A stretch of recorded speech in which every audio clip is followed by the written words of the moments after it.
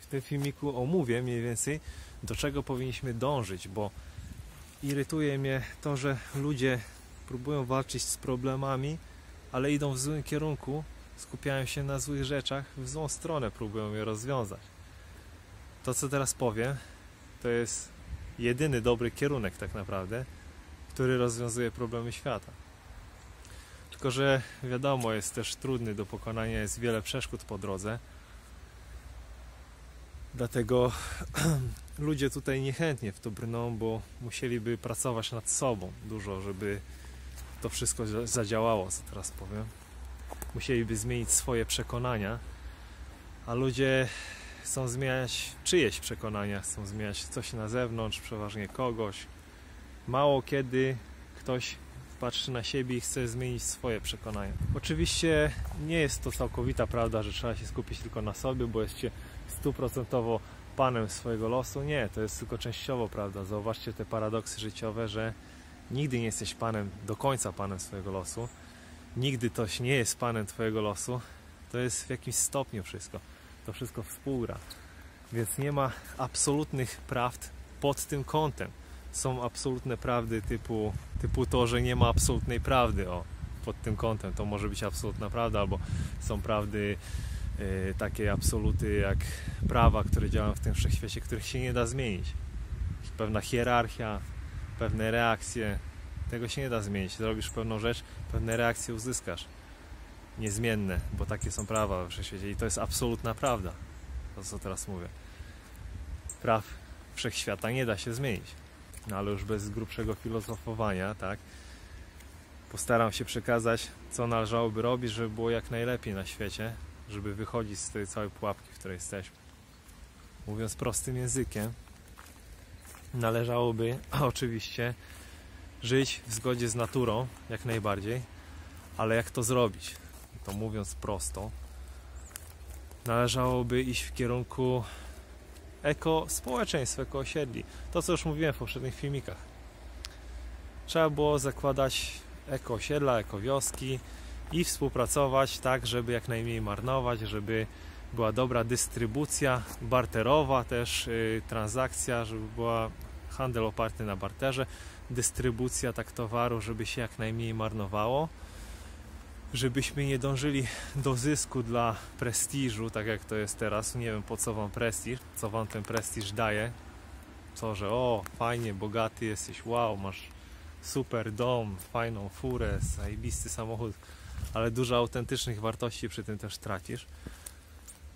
Więc co ci po tym dużym domu, fajnej furze, jak będą cię podziwiać może ludzie, będziesz miał ego, będziesz miał busta, takiego, że o, ego, że fajny jestem.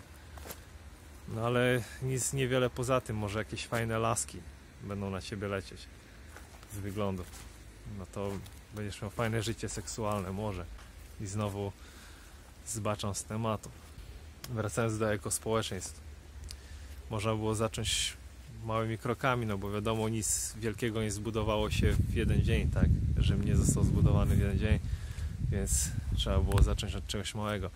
No ja bym proponował, to co teraz powiem, jest wbrew pozorom bardzo ważne i bardzo dobry pomysł to jest. Nikt tego nie zrobi prawdopodobnie, bo siła tego świata jest tak ogromna, tej nieprawości, niegodziwości. Grawitacja tego jest tak ogromna i tak wciąga ludzi, że i tak praktycznie nikt tego nie zrobi, co ja teraz opowiem. Trzeba było zacząć właśnie y, od zakładania takich mini ekowioseczek w postaci właśnie kolonii działkowych, tak jak tu jest, tylko że opartych na pewnych zasadach typu jak chcesz należeć do tej kolonii, musisz się trzymać pewnych reguł, musisz działać według pewnych zasad, czyli byłaby, były, byliby ludzie szkoleni specjalnie, musieliby nawet zdawać pewne testy, y, pewne kwalifikacje spełniać, żeby się nadawać do takiego społeczeństwa. I teraz wyobraźcie sobie taką, takie społeczeństwo, które operuje w ten sposób, barteruje, wymienia się towarem i każdy ma swój mały domek, altankę, ale tak zaprojektowaną, żeby można było w niej w razie czego zamieszkać, jak będzie kryzys na zewnątrz, żebyś miał gdzieś się schronić, żebyś nie był całkowicie zależny, bo teraz jesteśmy całkowicie zależni od tego na zewnątrz tego świata.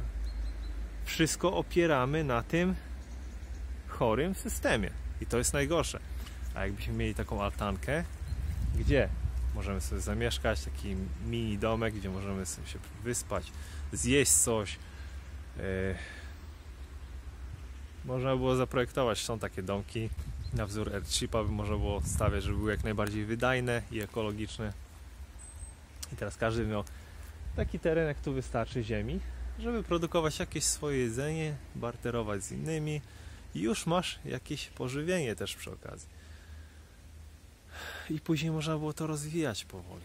No bo takie coś, co teraz powiedziałem, jest super, dlatego że nie wymaga dużego wkładu finansowego na początku i nie, wy, nie wielkiej energii inwestycji na początku. Czyli można było to zrobić nie rezygnując z naszego życia w systemie, mieć takie koło ratunkowe. I to jest dlatego, dlatego właśnie to jest super pomysł, to co ja mówię teraz. Niesamowity pomysł, genialny, rewelacyjny. Bo tak jak mówiłem, powtarzam, coś się dzieje złego tam, masz awaryjne kółko tu. I masz jedzenie, społeczeństwo, bo na pełnych zasadach trzeba było działać. Czyli by się kontaktowali ludzie, barterowali ze sobą. Więc masz zapewnione jakieś tam pożywienie, schronienie, czyli wszystkie esencjonalne rzeczy do życia. Nawet społeczeństwo, nawet masz przyjaciół, nie czujesz się samotny. To to było takie życie minimalistyczne, mogło być lepsze od tego. No i takie coś trzeba by było zorganizować. Tylko każdy za tą kasą gania i za systemowymi sprawami. Nie ma komu tego zorganizować. I teraz tak, jakby powstała taka jedna wioseczka i byłaby ona skuteczna, dalibyśmy wzór dla innych, żeby stawiali to i to było replikowane na cały świat, rozrastałoby się, powstawałyby jako społeczeństwa z czasem, byśmy pokazali dobrym przykładem, że tak należy żyć, że nie można opierać się na tym systemie, który nas delikatnie mówiąc wykorzystuje, ale to bardzo delikatnie mówiąc. I już jest droga otwarta do rozwiązywania problemów świata w tym momencie. Wielki mi geniusz, że tylko ja na to wpadłem. No bo jak od razu, wiadomo, wiele osób wpadło na to, żeby mieć ekowioskę, założyć i tak dalej, no to jest w miarę logiczne. Ale tego od razu się nie da zrobić. Nie da się od razu zajebistej ekowioski postawić, bo to by wymagało dużo pieniędzy, dużo organizacji, ogarnięcia ogromnego. To trzeba stopniowo zacząć od takich małych rzeczy właśnie. Poza tym nikt ci się nie przeprowadzi do tej ekowioski wielkiej, bo nie zostawi tego systemu, bo tam ma pracę, dom normalnie i tak dalej. Dlatego to nie będzie skuteczne, dlatego trzeba zacząć od małych rzeczy, to co opisałem teraz właśnie. I ten pomysł uważam za genialny, kluczowy, niezbędny.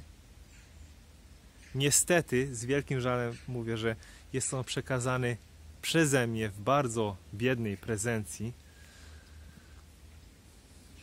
To, to, jest, to jest najgorsze właśnie w tym wszystkim. I to nie będzie miało zasięgu ani mocy przebicia przez to. Takiej, jaką powinno mieć. Myślę, że ogólną ideę podałem wystarczająco dobrze. Nie muszę się rozwijać w tym filmiku na ten temat. Chcę, żeby był krótki, treściwy, informacyjnie, dlatego już zakończę. To było na tyle. Myślę, że wystarczy i do następnego.